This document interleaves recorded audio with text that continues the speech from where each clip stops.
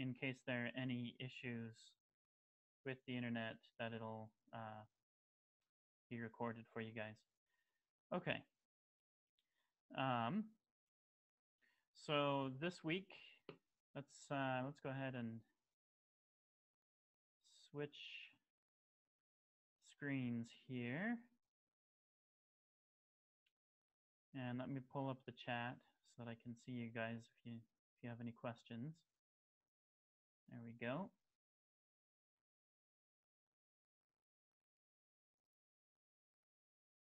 Okay.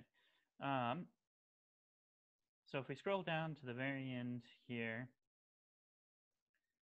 uh, week week 13 was the week before Thanksgiving. Week 14 was Thanksgiving week. So that Tuesday we had the exam. So this week is week 15. Uh, so as you can see here on Web Campus, I have um, created a page for it where I'm going to upload the lecture notes and the video for today, as well as the study guide for the final. And here is a recipe that's used on the study guide. Um, so if you if you click on the page, uh, this will open up the as soon as this loads just the page that I created um, that has a link to the to both the study guide and the recipe. And then below here, as soon as um, today is over and the video is uploaded, I'll I'll post the link to the video and the notes for today and also for uh, next time as well. So that's that's what we have going on there. And so we'll be going through the review uh, the study guide for the final today and next class. And then the week after that is the final exam. So uh, that's where you can find the study guide. I would uh, recommend uh, downloading this, or at least, at the very least, you know, logging in and following through uh, as as we go through. Um, but definitely, if you want, you can download it or print it. Uh, so this is the the review that we're going through. And then um, on problem, let's see which problem is it here. I think it's problem four, problem five. Problem five, it, it uh, mentions a recipe used in one of the mini projects. Um, and since the mini projects went online, uh, I had to grab the recipe and uh, upload that. So that is that is this recipe that is uh, here as well, this recipe file. So as soon as this loads, let's take a look. So here's the recipe that we're going to be using for problem five. Uh, and this, this uh, I basically just copied from from that uh, from that mini project from before it went online. Um, Okay, so let's go to the study guide then. Uh, before we jump into the study guide, uh, are there any, any questions? Any questions, comments, any of the previous material, any of the homework?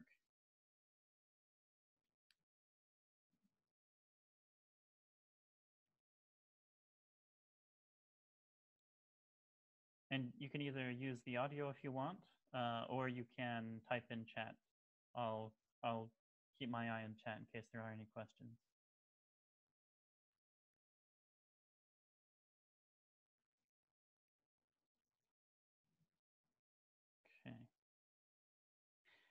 I'm not seeing any questions, so we'll go ahead and jump into the review. So the final the final exam is cumulative.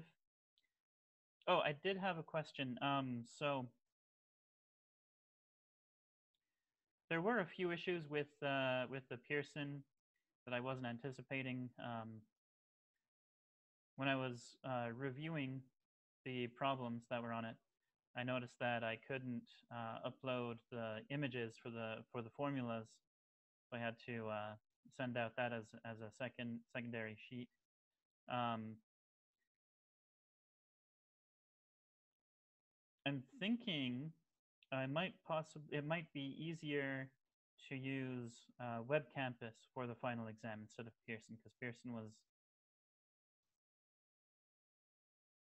uh, it had some issues that I wasn't expecting. How would you guys feel about about that if, if we did the uh, the final exam on on uh, web campus instead of Pearson?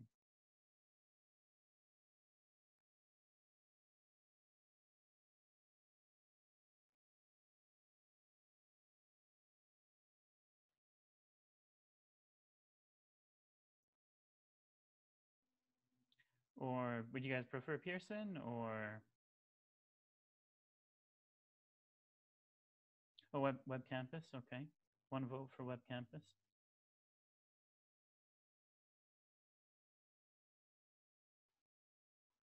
So I think I might do that because with web campus, I know that I can uh, upload the images and it's a little bit easier, a little bit more accessible. So I think I think we'll do that for the final exam. Okay, um, and I'll send out that. Uh, I'll I'll email you guys probably either tomorrow or Thursday with that information. Okay, all right. Um, so let's go ahead and, and jump to the final. So the final is cumulative, which means anything that we've talked about uh, in class uh, can potentially show up on the final exam. Though um, obviously there are uh, there are two things that I would focus on uh, when you're studying for this. The first is the final exam study guide here, um, which has which I posted to Web Campus this morning. Uh, and the second thing is to uh, look at the um, the practice final on Pearson. So even though we won't use Pearson, I, I will still um, upload a, a, practice exam, a practice final exam for that, um, so that you guys can can use that as a as a study guide. Um, the other the other things, if you have if you have time and you want extra study, uh, it would be a good idea to go through the previous exams, so exam one, exam two, exam three, um, and make sure that you know how to do uh, any of the problems on on those exams. Okay, um, so it is cumulative. So anything that we've talked about in the course. Um, but again, the the uh, the questions, particularly here on on this study guide and on the the uh, final uh, final exam practice test on Pearson, are good problems to focus on. Uh, so uh, this one, um, the study, study guide, I believe it has 20 questions. So we'll go through, I'm just going to start at the, at the top and we'll work our way down. And uh, hopefully we'll get through, um, through all the questions by next class.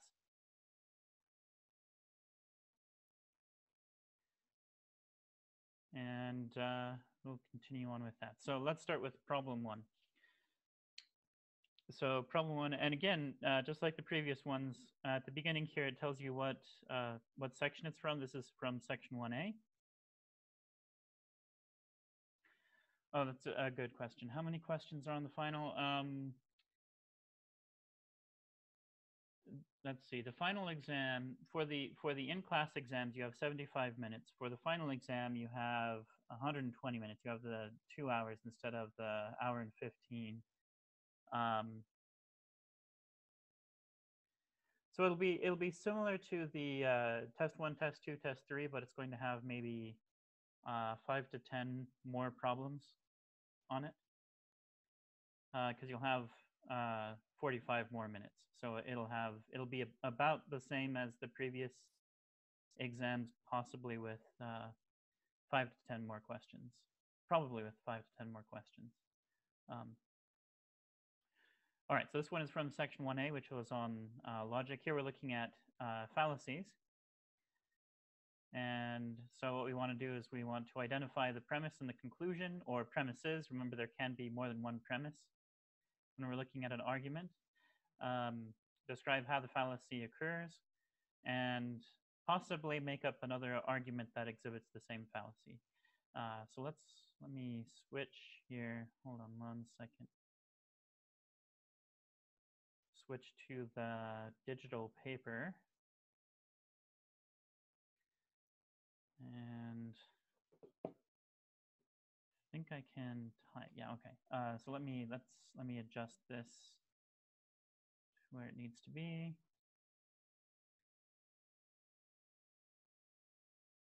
All right, I believe that's about the size that'll let me type hopefully to the end of the page. Uh, where the settings here. Let me try and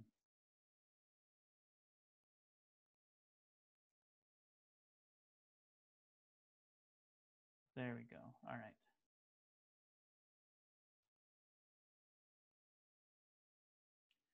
Okay, so uh, just as a reminder, with, with the fallacies, um, this one, there were 10, 10 fallacies that we were focusing on in, in this, this class. There are more, more than that. There, there are a, a lot of different fallacies, but we were focusing on 10. So we have 10 Okay. Let's see if that works. 10 common fallacies. And so uh, if we remind ourselves of what those are, hmm. First one that we talked about was appeal to popularity. Uh, second was false cause. Third was appeal to ignorance.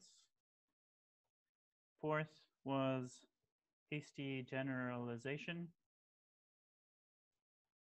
The fifth one we talked about was appeal, no, was limited choice, sorry. Limited choice. Uh, sixth,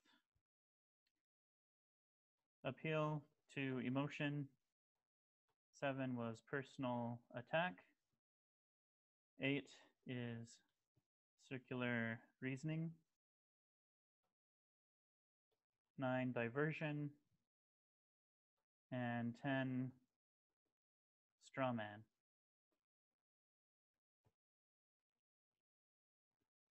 So those were the 10 fallacies that we talked about in class.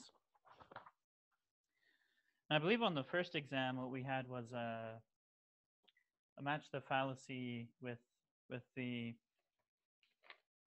argument that's given. So there were about, if I remember right, five arguments that were given, and we had to match that with the fallacy. And it might be that again, or it might be uh, this this question.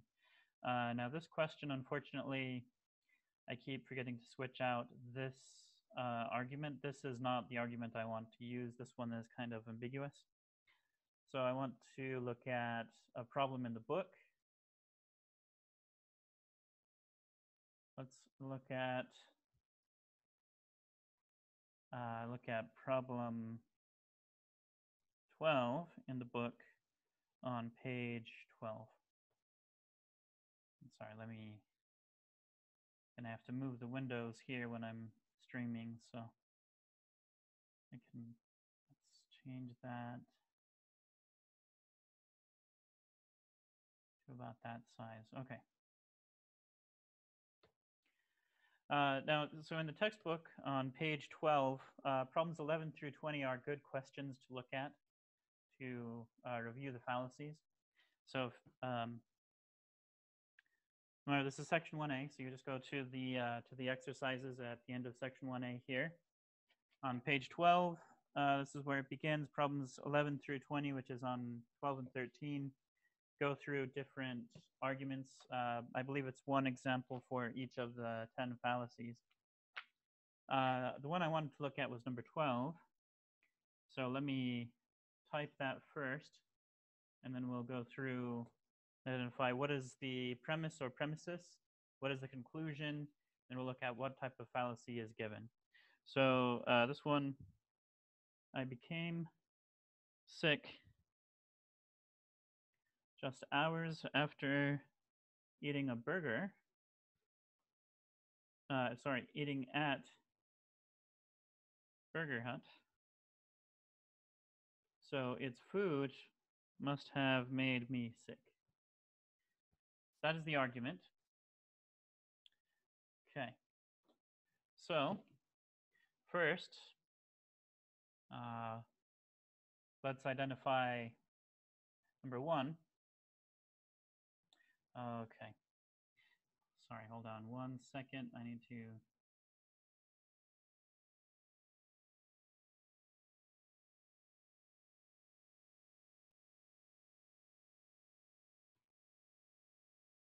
That is not letting me write. Okay.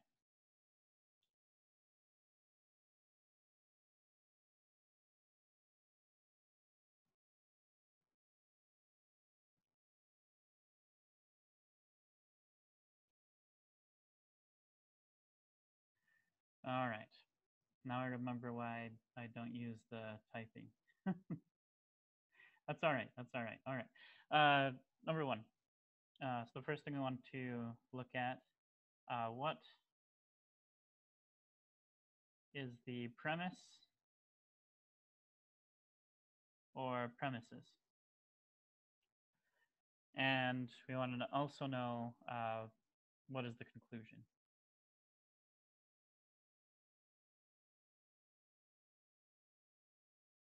Uh, for me, I like to look at what is the conclusion first. That's just my personal preference. Uh, because the conclusion is what you are arguing uh, is is basically what your argument is. Uh, what what is what is the thing you're trying to convince someone else of? Uh, and then the premise or the premises, uh, and you can have more than one premise, uh, is what you're using as evidence. So first, uh, what is what is the conclusion? Let's start with that one. What is the conclusion for this argument? And again, the argument is I became sick hours after eating at Burger Hut, so its food must have made me sick. So what is the conclusion?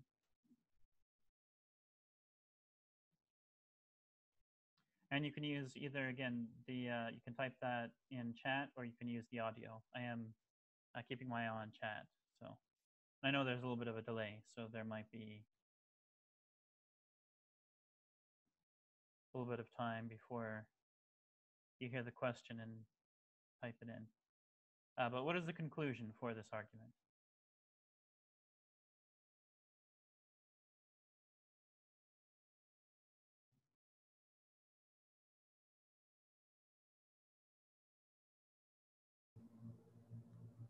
The conclusion would be that the food from Burger Hut made the person sick. That is correct. Yes, excellent. The conclusion is that the food from Burger Hut made the person sick. So this is that the uh, food made me sick. Uh huh. And it's not letting me write further than that. Sorry. Okay, and then what is the premise or premises then? And so what we're using as evidence is I became sick just hours after eating that food. That's the, that's the premise. Became sick hours after eating.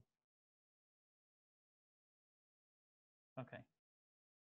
Now, in this particular example, we just have one premise, but as a reminder, we can have multiple premises. We can have, um, technically, there's no limit on the number of premises we can have. Uh, but there should only be one conclusion. Okay. So we've identified the premise and the conclusion. Next, what fallacy has uh, has happened here. So, what is the fallacy?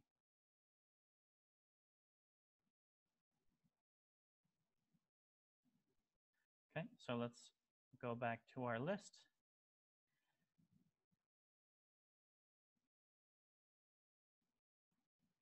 And, and again, uh, just like just like any of the previous exams, and anything that was uh, provided for those will be provided for the final uh, anything that um, you needed to memorize for those exams, you'll need to have memorized for the final. So it's not like you have to um, remember uh, memorize each one of these in detail. You just have to remember which one goes with which. So in this case, uh, what is the fallacy that has occurred? Well, our evidence is that we became sick hours after eating. That's our premise. Sorry, our conclusion is the food made me sick. So in this case, it's not going to be appeal to popularity. Guess we could mark some of these off. It's not going to be appeal to popularity. It's not going to be appeal to ignorance. Uh, or emotion, personal attack, circular reasoning, diversion, or straw man. Um, So in this case, it looks like it's going to be false cause. We're using the evidence that we ate there just hours before we became sick as evidence that the food is what made what made us sick. And so that is a false cause. It may not have been caused by the food. So this is false cause.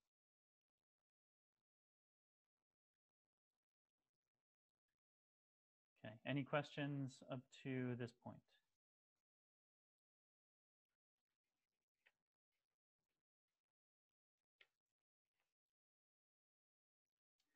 Okay, and then the uh, last part of this, and you still might be typing, which is fine. If I when I see the, the question, I'll answer it.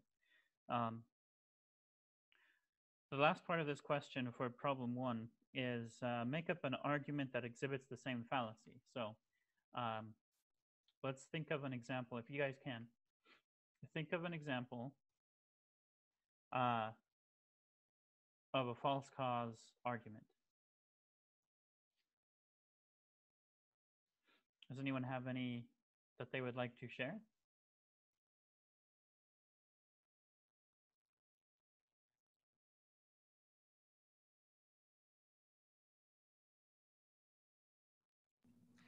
In class, we had an example where it was like every time a person washed their car, it rained the next day. Would that be a good example in this case? Uh, yes, exactly. That would be a that would be a very good example in this case. Yeah, that would that's good. So let's remind ourselves of that example. The example that we um, had was uh, every time I wash my car, it rains the next day. Uh, today I washed my car, so it will rain tomorrow. That is a false cause uh, argument. So that that would actually be uh, very good as an example. Yes, good. Uh, any other examples anyone wants to share? If not, that's fine. But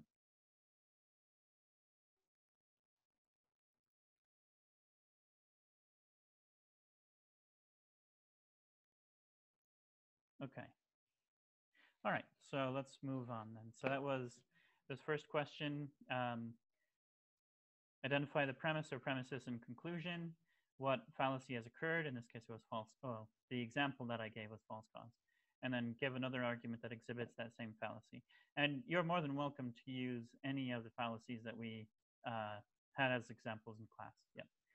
Uh, number two, we're looking at uh, Venn diagrams to analyze relationships. Okay.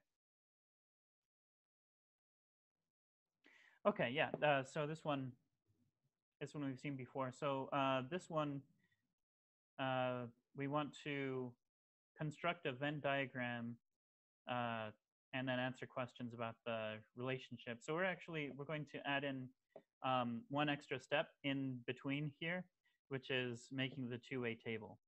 Um, so let's go ahead and read the problem, then we'll make the, the two-way table. From that, we'll make the Venn diagram, and then we'll uh, answer the question or questions. I think this one only has one question uh, concerning the, the trial. Okay, so here we have a trial of a new vaccine. 100 people were given the vaccine and 50 were given a placebo. Of those given the medicine, 80 never developed symptoms. And of those given the placebo, 10 never developed symptoms. Uh, so that's that's what we're given. We want to make a Venn diagram, and uh, the question that we are asked is how many people who received the vaccine did not improve. Okay, so let's go to our digital paper here, and we're going to make a two-way table. So this one is number question two on the review. And so we're going to do a uh, two-way table first. And so in reading through this, this, uh, this question, notice there's, there are two variables that we are dealing with. There, there are two questions essentially that we're as that we're. Um, if you want to think of this as a survey that was given to these individuals, there would be two questions on the survey. First question was, um, were you given the vaccine or the placebo? So that is our first variable. So we have our first variable is did we get the vaccine or the placebo? And then the second thing when we're reading through this, second thing we are uh, given is 80 never developed symptoms. So that would be the second variable, the second question that we would be asked is did you develop symptoms? Or the only other possibility with that, uh, did you not develop symptoms? So uh, symptoms or no symptoms. Okay.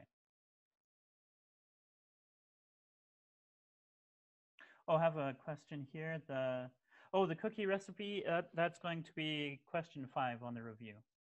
So uh, yeah, so we'll be using that for question five. Sorry, uh, I I don't remember if I mentioned that, but I'll mention it now. Yeah. So the cookie recipe. That's for problem five in the on the review, on the study guide.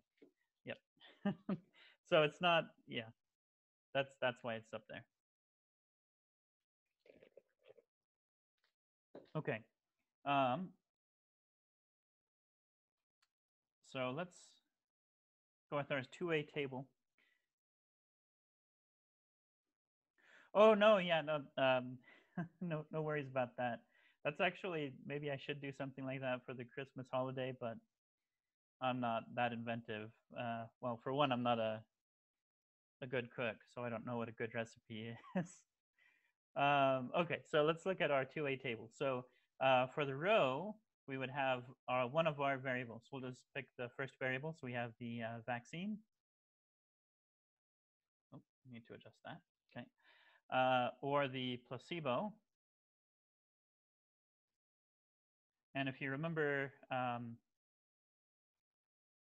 in class, I also said I wanted to add a,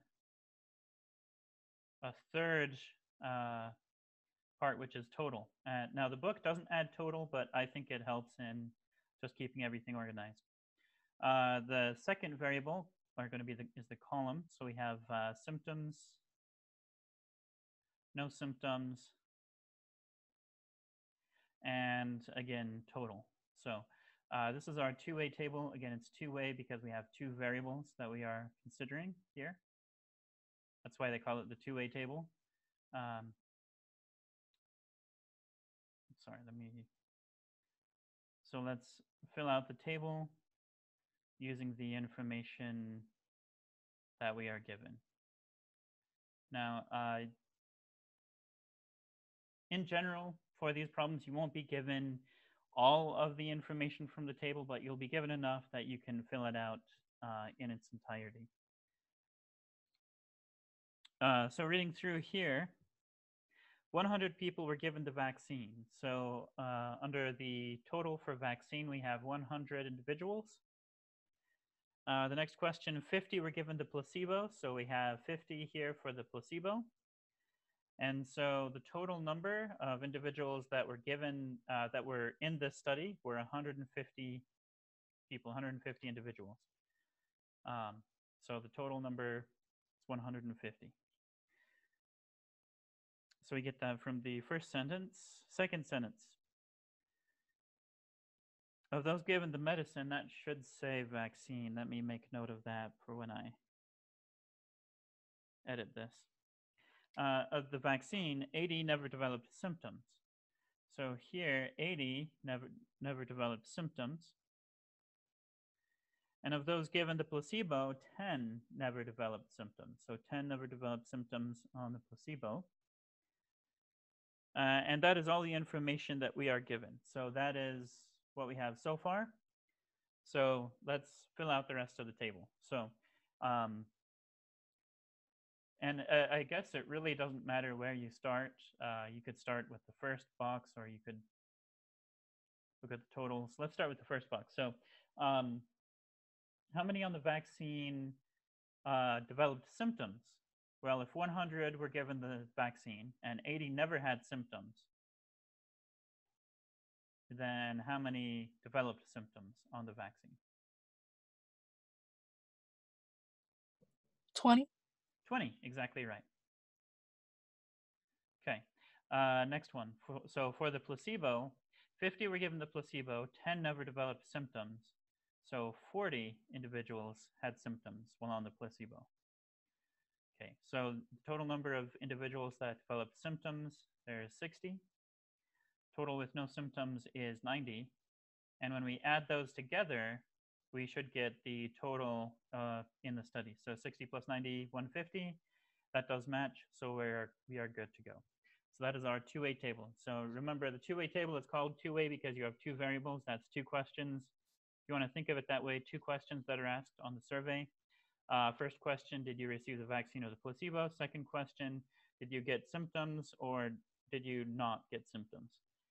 And then you, develop, uh, you uh, fill out the two-way table from, from that. Okay, so that was the uh, extra step that I added in. Uh, so the next part is to make a vaccine, uh, sorry, make a vaccine, to make a Venn diagram summarizing the results. Got that V word stuck in my head. Uh, vaccine Venn diagram, same thing. No, not really. All right. Make a Venn diagram summarizing the results. So when we're making the Venn diagram, uh, what we want to do, if you recall from uh, our lecture, we want to choose one of the things, uh, one of the answers from the first variable. So in this case, let's just choose vaccine because that's just the first one there. And then one of the answers from the second variable, so let's just choose symptoms. And uh, if you recall, the total is not going to show up in the Venn diagram. So let's get a new page here.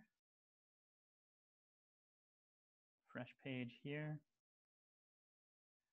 So for our Venn diagram, we'll have one uh, circle representing one of those sets, another circle representing the other set, and we can fill in the information. So what we chose for the first one was vaccine. And what we chose for the second one was oops,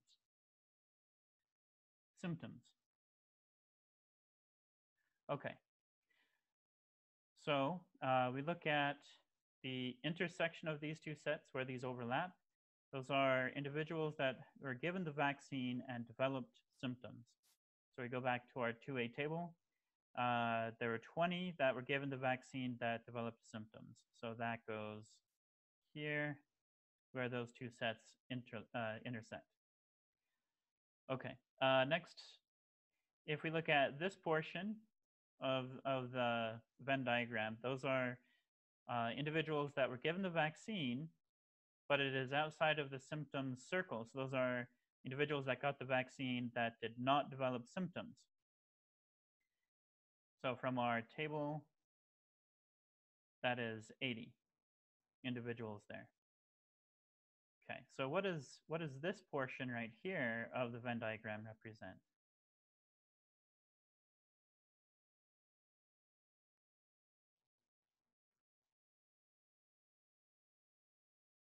These are individuals that got symptoms. Okay. Uh, but were they on the vaccine or, or the placebo?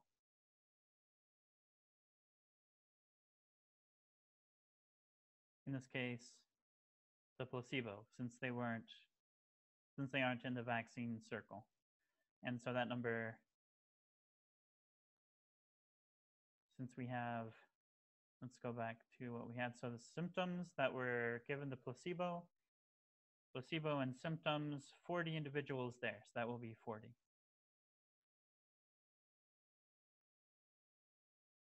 And then uh, right here, outside of both circles, uh, are individuals that did not have the vaccine, so they were given the placebo.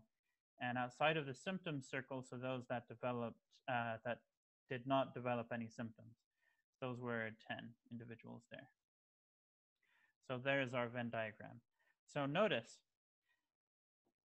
all of the numbers here that appear are not going to be any of the totals. Uh, so the 100 is not going to appear in the diagram. The 50 is not going to appear. The 150 is not. The 90 is not. The 60 is not. These numbers will. So the 20, 40, 80, and 10 are the only numbers that should appear in the Venn diagram. Okay. And then the question that we were posed, let's write that here. How many uh, people who received the vaccine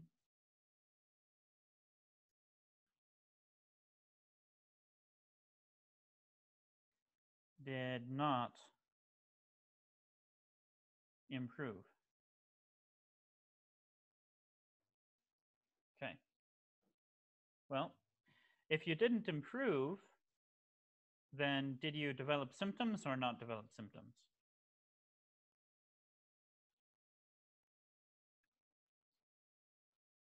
So that's the first one. We have to match it up with what, what we have either on our two-way table or the Venn diagram. Again, you can use either one. Um, here I'll use the Venn diagram since that's here, but you can use the table, that's fine. So did not improve, that means they developed symptoms. So they had symptoms. So we're asking how many people were on the vaccine, got symptoms. In this, in this case, that is where these two intersect, which is 20. So there are 20 individuals. Okay. Uh, so that's question two. Um, any questions up to this point?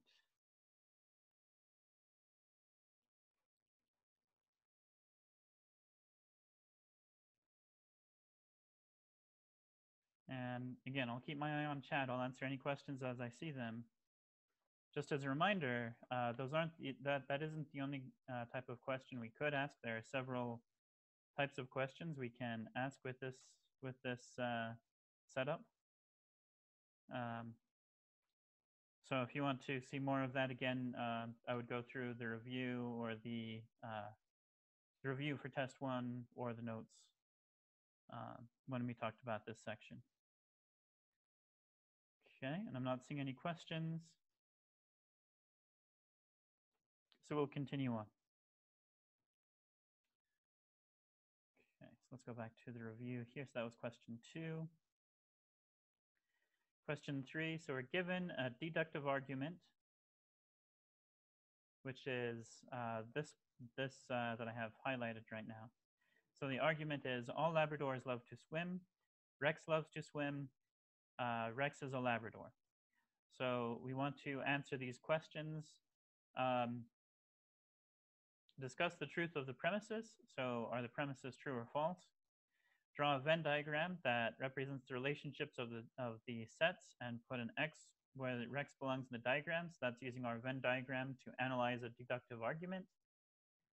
And then the last part, state whether the argument is valid and, and sound. So remember that um, there are those two things that we have uh, when it comes to deductive arguments. An argument can be valid or not valid and can be sound or not sound.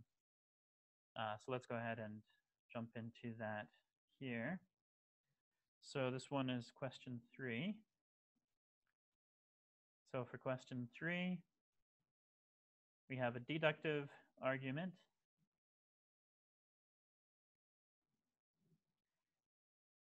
And the first premise is all Labradors love to swim.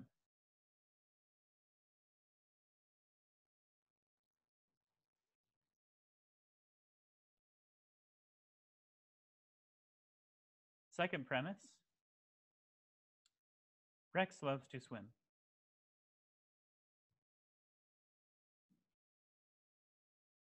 Okay, and our conclusion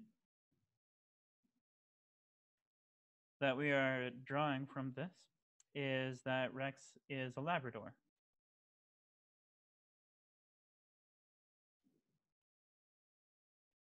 Okay, so let's start with the truth of the premises.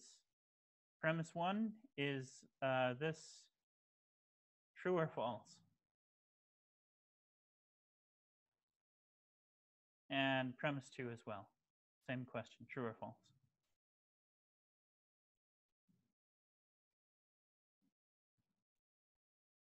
So the first premise, all Labradors love to swim. In this case, let's go ahead and say that is true. To be honest, I don't know much about Labradors. Um, whoops, that is, okay. Um, I don't know much about Labradors, but we'll go ahead and take the, uh, the person making the argument at their word. And premise two, Rex loves to swim. Well, Rex is referring to, in this case, an animal, hopefully, or maybe not. uh, Rex loves to swim. Again, we're going to assume that the person isn't lying to us, that that, that is true. So um, in this case, both are true.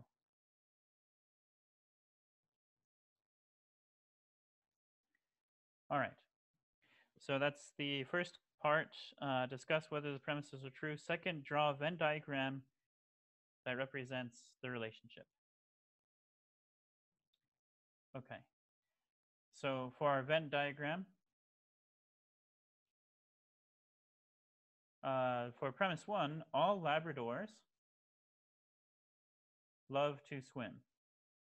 So in this case, that is the form all x are y. In this case, all Labradors are things that love to swim. So from our, our lecture notes, we know that is a subset relationship. So we have a big set and a little set. All Labradors love to swim. So we have the Labradors are the subset, and things that love to swim are the big set. So that is premise one. Premise two, Rex is a Labrador. Uh, sorry, that's the conclusion. Premise two, sorry. Rex loves to swim. So here, for premise two, Rex loves to swim, that is going to be inside of the loves to swim circle. But notice that it doesn't tell us whether Rex is a Labrador or not. Premise two doesn't say anything about Labradors, about Rex being a Labrador or not being a Labrador. So Rex could go either way in this case. Uh, so we'll put the X on the boundary between those two sets because it could be either inside or outside of that circle. So that's our Venn diagram. Okay. And the last part is the argument valid?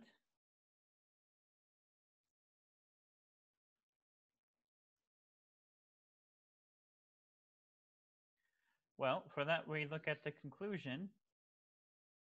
So if we take the conclusion by itself, Rex is a Labrador, what we expect, if this, if this is a, a valid argument, then the conclusion will, will match our Venn diagram. So we have Labrador, and the X should strictly be inside of that circle. Does this match what we have? Well, in this case, not quite. Because the X is not, because the X is on the boundary, it could be either inside or outside of that circle. Uh, so this, in this case, it doesn't, it doesn't match. This is not valid.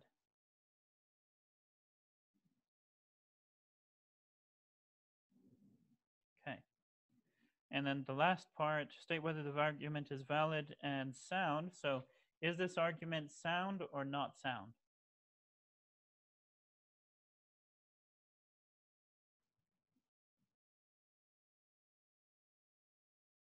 Not sound. That is correct. Remember, for an argument to be sound, two conditions have to be met. Whoops. Sorry, let me adjust the window there so I can actually write that. Two conditions have to be met. First condition is that all the premises have to be true. In this case, that's, we went through that at the beginning. That's, that is, uh, that's satisfied. The second condition is that it has to be valid.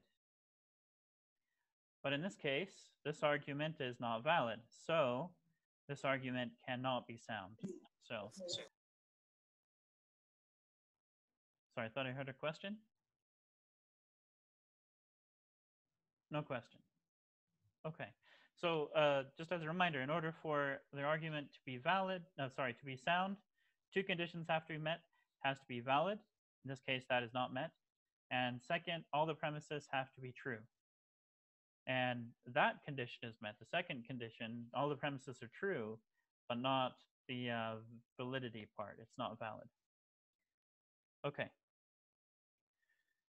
Question four. We want to decide whether the following statement makes sense or does not make sense, so is true or false. We want to use our reasoning, and here we're using unit conversions and mathematics to do so. So here we, are looking at our uh, units uh, that we had. Uh, so here, let's look at what we have. Uh, the recommended amount of water for an adult is 64 ounces per day. I like to buy in bulk, so for a week, I will need 24 liters. And we are given that there are 33.8 ounces in one liter. And so again, for these, when we have a, a question on units, what we need for unit conversion will be given to us, um, whether that's converting between, uh, well, in this case, metric and the uh, US system, I believe. Okay, so let's go to our digital paper. And let me adjust that. Where it needs to be. Okay, uh, so this one is question four.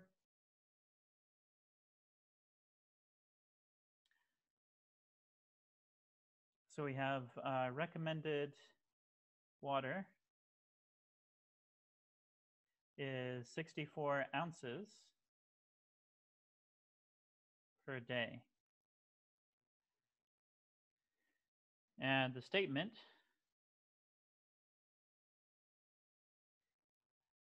is that uh, one liter per week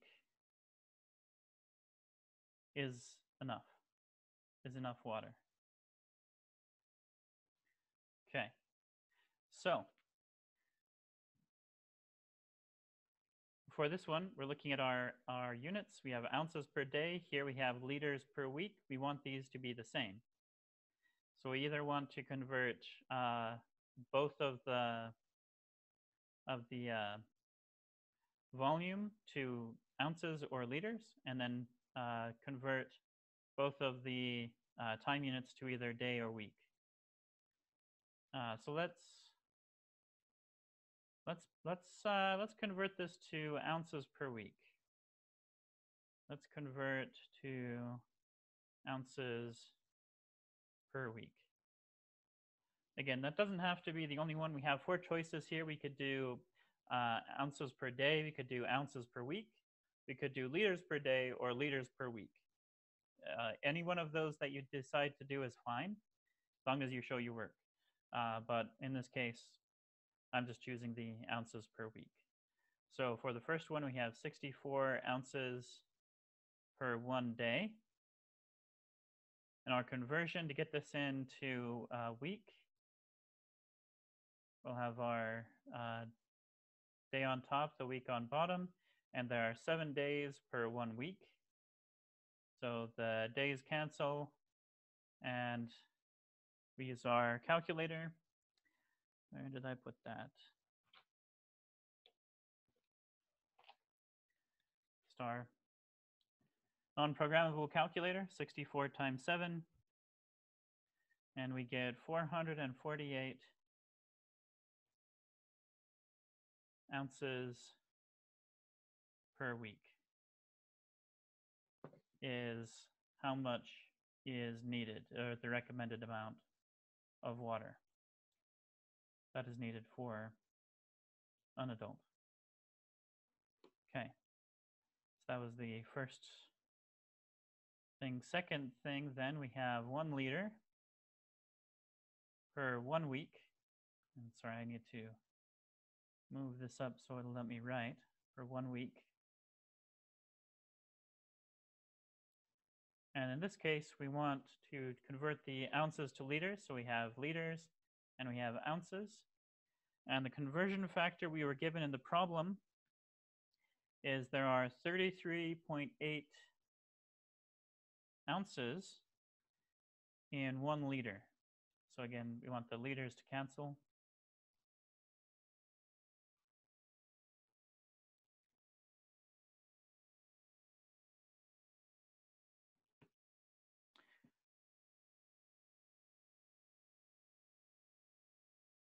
And I wrote this down wrong, didn't I? Let's see.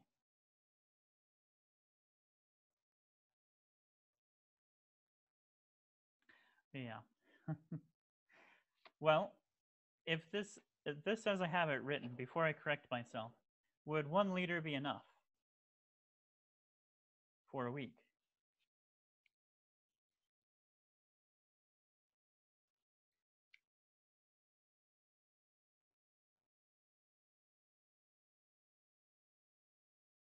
Well,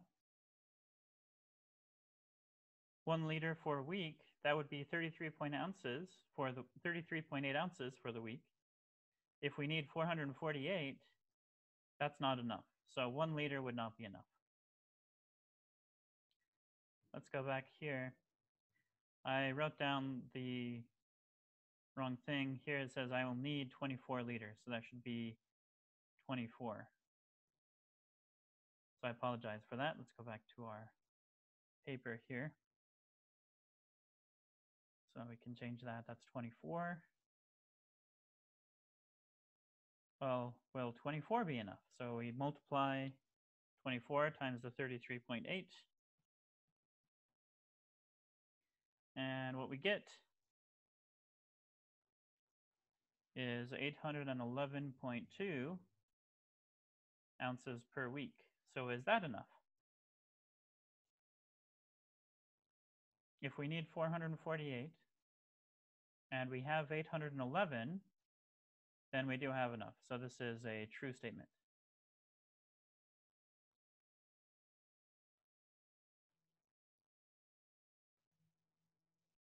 Okay. So that one is question four.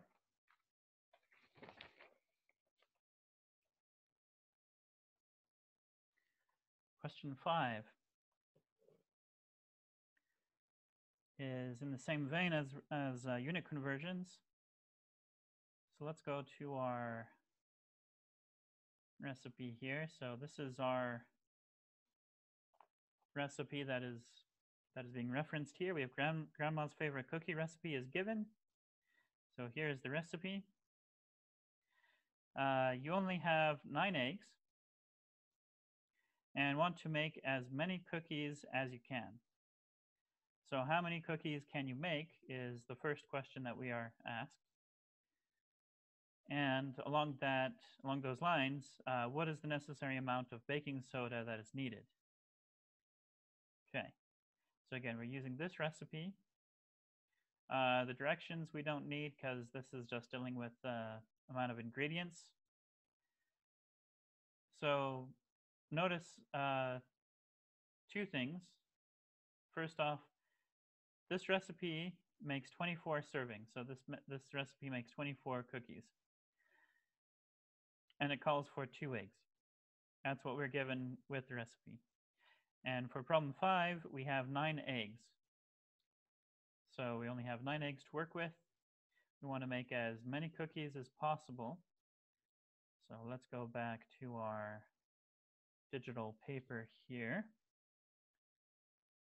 So this one is number five. So we have, uh, we need two eggs for, uh, what was the, uh, I believe that was 24 cookies? 24 cookies, yeah, 24 servings.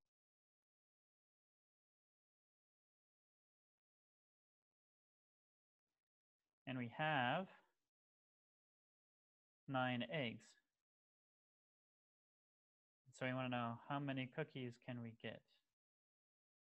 How many cookies can we make with that? So notice we have um, we can make, assuming that we have an unlimited supply of all of the other ingredients, which we're, we are going to assume, then we can make uh, nine out of two batches of cookies, where one batch is following the formula, uh, the recipe once. Because each batch of cookies requires two eggs. And again, we're assuming that the other ingredients, we have enough. Uh, so we have 9 halves batches, or we can write that as a fraction, uh, 4.5 batches of this recipe. And each batch makes 24 cookies. So we can make either the 9 halves or the 4.5, 9 halves times the 24 is 108 cookies. So those are the, the number of cookies that we can make with those eggs, with nine eggs. Any questions on that first part?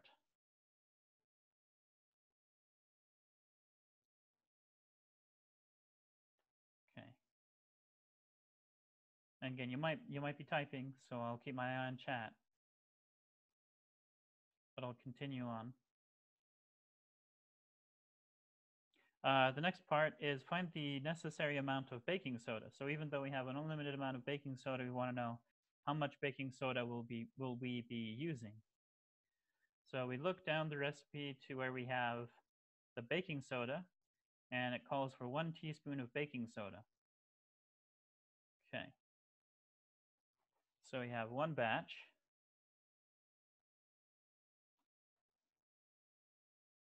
One batch requires one teaspoon of baking soda. And we need to make nine and a half or 4.5 batches. So we need four and a half teaspoons of baking soda for this for uh, making these four and a half batches.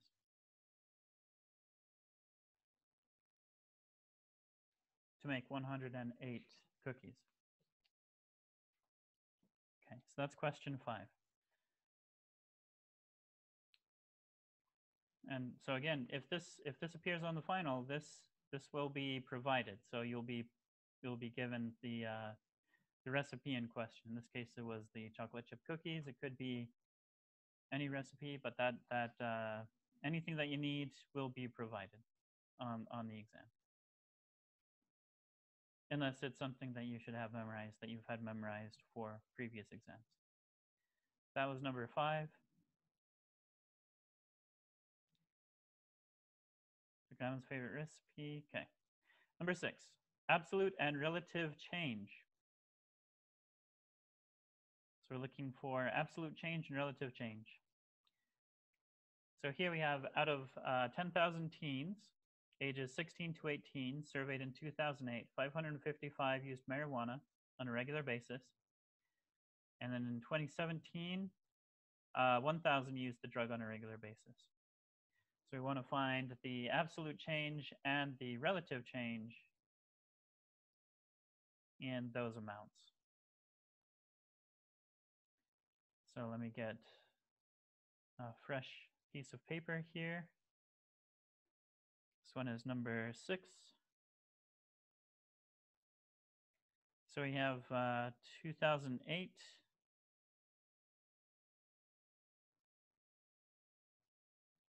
The number that we are given is 555.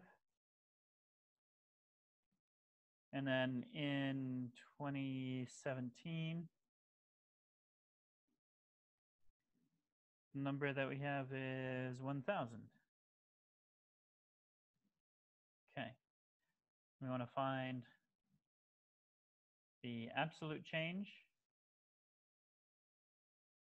and relative change in those numbers. So first, we have the absolute change. This is going to be the uh, new value, 1,000 minus the old value, 555. And again, you can use your calculator if you need, or your head. If you can do that in your head, that's fine. So we get for this one is 450, 445, sorry, 445. Now this could be positive or negative. It's positive if the number increased, in this case it did, so we should have a positive, which we do. Or if it decreases, then we should have a negative. And then for the relative change, we have the uh, new value minus the old value divided by the old value. And then we want this, uh, this is a percent, so to get it into percent form, we multiply by 100. So that's going to be 445 over 555 times 100.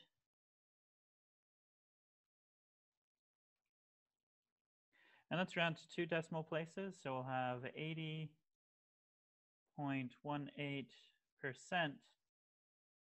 So the amount, uh,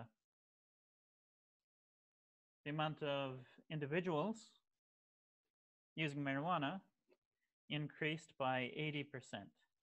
And again, that will that will be the same sign as the absolute change. So positive if it's increasing, negative if it's decreasing. In this case, it increased, so it's a, a positive 80.18%. Okay. And number seven, following table indicates a student's performance along with their corresponding weights. So this is a hypothetical class. We have these weights for those categories. Notice all of these except for the final is, is 10%. Uh, so this is 10%, 10%, 10%. At the end, we have 20%. So the first thing we want to do is compute the student's cumulative grade. And then we have a couple of questions after that. Assume the student has not yet taken the final and wants a C minus. Uh, what do they need to earn on the final to get that grade? Okay. So what we are doing for this problem, if you recall, we want to find uh, what we call the grade points that are uh, given to the student for each category. So we think of we think of the final grade as being 100 points instead of 100%. And uh, each each category of the grade gives a certain number of points, uh, which is given by the uh, students in this case, the homework average was a 97, so that that is what is contributing to those points. And it's 10% of the grade, so we want 10% of 97 for those grade points.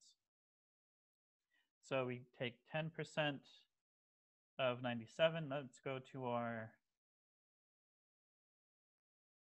digital paper here. Okay, so for seven, we want uh, for the homework grade points. Then we want 10% of 97. Well, so that's 0.1 times 97. So we use our calculator. 0.1 times 97, we get 9.7. And we continue on. with each category, and we find the, the grade points for each one. And so we continue.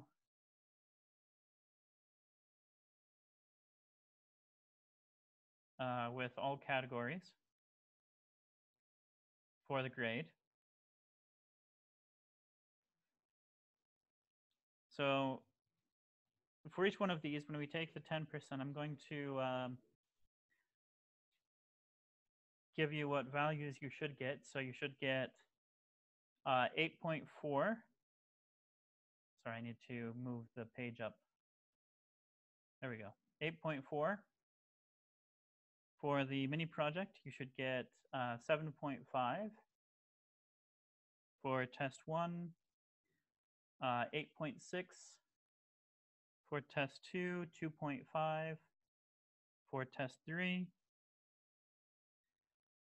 uh, 9.6. For project one, 9.1 for project two, 8.8 for project three, and 12.4 for the final. Now here, you have to be careful, and I do want to emphasize this. Um, what, what the uh, grade points are depend on the weight of that category. Now these are 10%, but notice this one is 20%.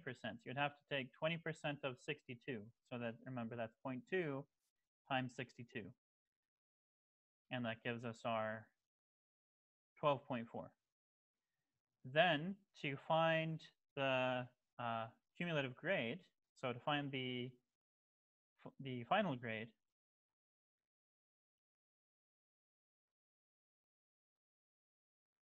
what we do is we take the sum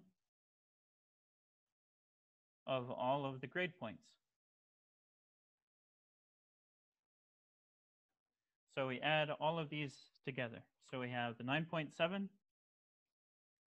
plus the 8.4 plus 7.5 plus 8.6 plus 2.5 plus 9.6 plus 9.1 plus 8.8 uh, plus 12.4. And in this case, what we get is 76.6%. So that is the student's final grade in this uh, in this example. So let's go back to our review page here. Okay, so to find the cumulative grade or the final grade, you find the grade points for each category, you add those together, and that gives you the uh, cumulative grade. Okay, so that's the first part, first question. Second part, second question. Assume the student has not yet taken the final exam and wants a 70% in the course. What do they need to earn on the final exam to earn that grade? So for the second part, let's go back to our digital paper. If we want a 70%,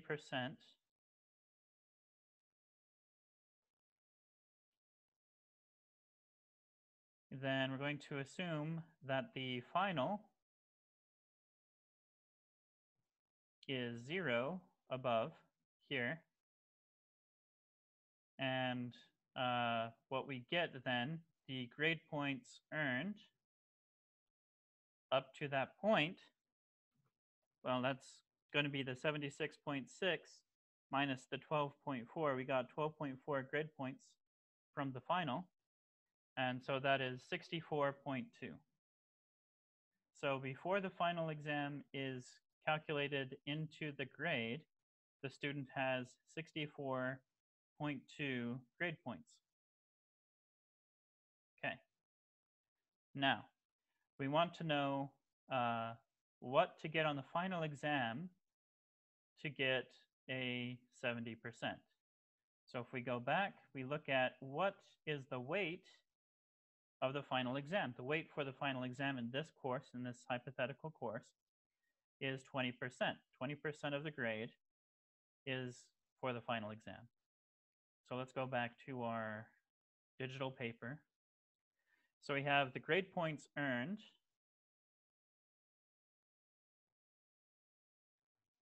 Grade points plus 20%. So that's going to be 0.2 of their score that they get for the final exam. So let's use the variable x for that. And we want that to be a 70. Well, in this case, we know that the grade points are 64.2. So we want to solve the equation. Sorry, let me rewrite that. 64.2 plus 0.2 times x equals 70. So we subtract to the 64.2 over. We divide both sides by 0.2. And again, I'll leave the details for you guys. So what we get, what do we get for x, for the final exam score? So we do 70 minus the 64.2 divided by 0.2. We get x should be a 29. So as long as the student gets 29 or better on the final exam in this hypothetical uh, scenario, the student will pass the course.